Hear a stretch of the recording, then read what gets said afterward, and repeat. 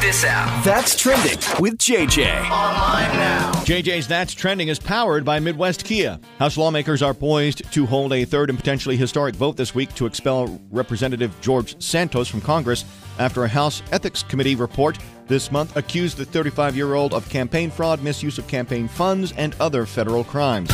Salt Lake City, Utah is tapped to host the 2034 Winter Olympics and Paralympic Games.